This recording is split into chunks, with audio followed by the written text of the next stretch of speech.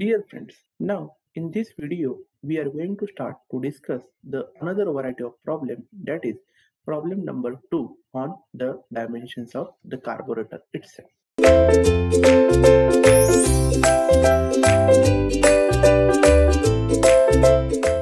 In the last lecture we already discussed about the first numerical on the carburetor dimension. Now in this video we are going to start to discuss the another variety of problem that is problem number 2 on the dimensions of the carburetor itself. So to see the particular problem we will directed to the notes part. With the help of the notes again we are going to understand the another variety of the carburetor numerical. So here we have a statement a 4-stroke 4-cylinder square engine running at 40 revolution per second has carburetor venturi 3 cm throat. Assuming bore to be 10 cm, volumetric efficiency of 75%, the density of air to be 1.15 and coefficient of airflow to be 0.75. So with the help of this all data, we have to calculate the suction at the throat. So dear friends, again here the statement of the problem is very very important. So again there is a four stroke four cylinder square engine. So the word square engine is nothing but what? Suppose the engine is there, there is one engine and the design of engine is just like a square. So what do you mean by the square engine? Suppose the meaning of square engine means what? It has the same what we can say all the sides. Square means what? All the sides are the same one. Okay. Suppose here is that particular square engine like this one. So in this case suppose here is the stroke length of the engine. Whatever the stroke length is given. So this will be the stroke length of the engine. Okay. And similarly this will be the bore diameter of the engine.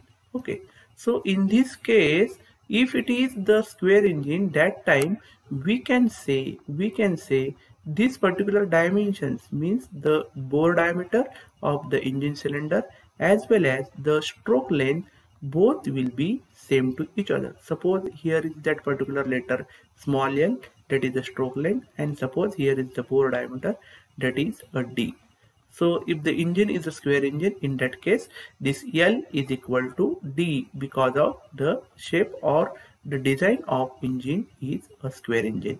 So the meaning of square engine is just like this one. Okay, this L is equal to D. So as per the given data, we can write the things. So again here, the things are given to solve this particular problem a four stroke four cylinder so the number of cylinders are four and the number of strokes are four again. So again square engine as i told you earlier that is l is equal to d because of the square engine. So in this case the engine running at 40 revolution per second okay. So this revolution per second means generally rpm is given in the problem but in this case the rps revolution per second is given. That's why the speed of the engine that is capital n here we are going to consider n that is rpm of the engine is given to us that is 40 revolution per second. The unit is revolution per second.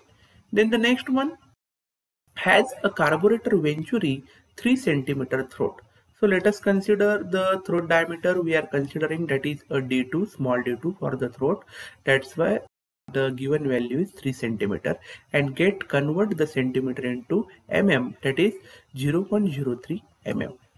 The volumetric efficiency is again given in the problem and that value is 75%. Then the air density is also given that is uh, 1.15 note down. The density of air that is rho suffix air is nothing but 1.15 then again the coefficient of discharge of airflow to be 0.75 that is c suffix da that is coefficient of discharge of air. It is given in the problem that is 0.75 okay. And similarly in this case the bore is again given in the problem and that bore assuming bore to be 10 centimeter. Bore means this particular diameter bore diameter of the engine is given that is 10 centimeter. Okay let us consider suppose uh, here we are considering capital D for the bore diameter and that is given in the problem 10 centimeter. So as this is the square engine that's why this L is again equal to 10 centimeter because in the case of square engine all the sides are equal to each other all the sides are same so uh, with the help of this given data, we have to calculate the suction at the throat. What would be the suction at the throat section we have to calculate.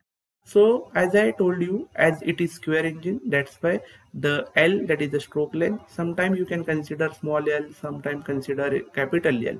Okay, like that we can write capital L is equal to 10 centimeter because of the square engine and the bore diameter is also given that is 10 centimeter.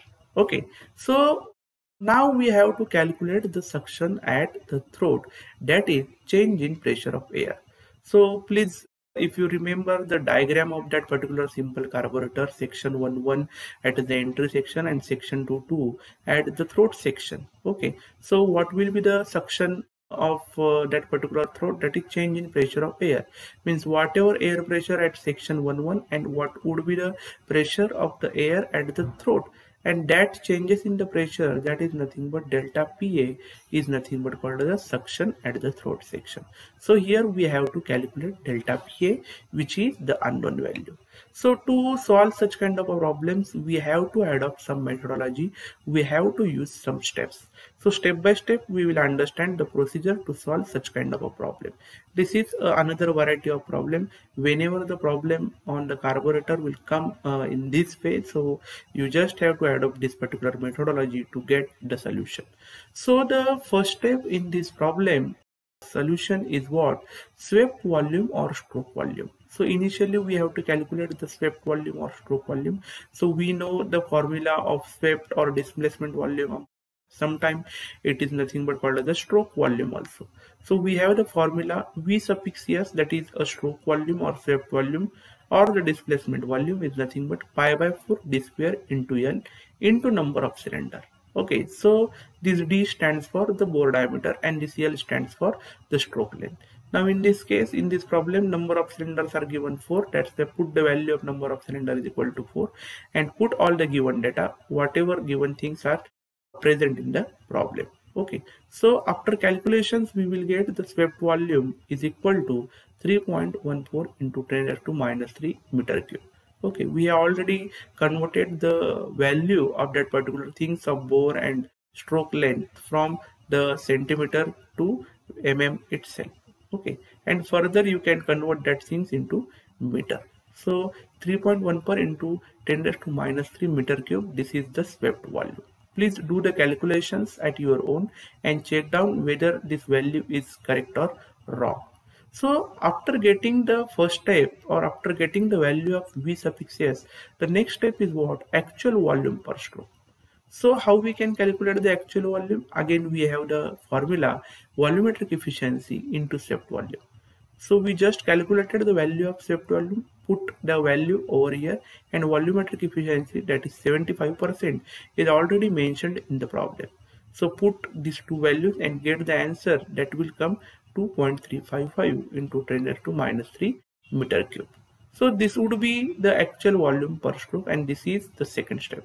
So the next step that is the step number 3 now with the help of this about two values that is Vs and this second one actual volume per stroke the next one the next value which we have to calculate and that is actual volume sucked per revolution okay so for every revolution we have to calculate the actual volume so again we have the formula to get uh, that particular things. And the formula is what? Actual volume per stroke. We have just calculated that actual volume per stroke.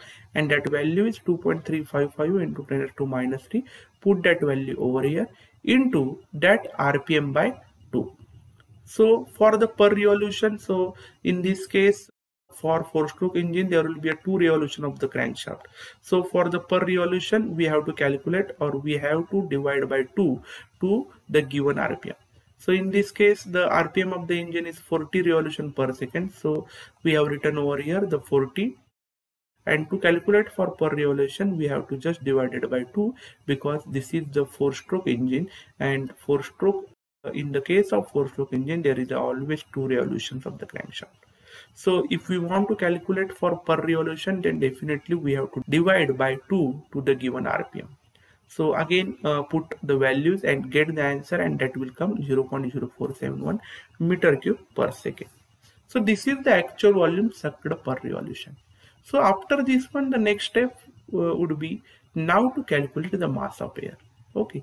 Finally you will able to understand why we have calculated why we have made step number one two three etc etc okay.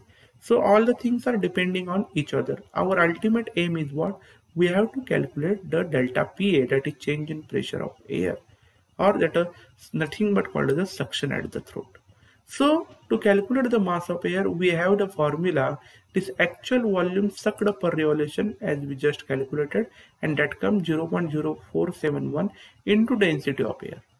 So again density of air is given in the problem, put the value and get the mass of air and that would 0.0541 kg per second. So units are very very essential and important. As per the convergence you have to write the unit. So this is the value of mass of air. So finally, we have to calculate the pressure difference. So in this case, the initial temperature is not given. So we have to consider neglecting the effect of compressibility of air case.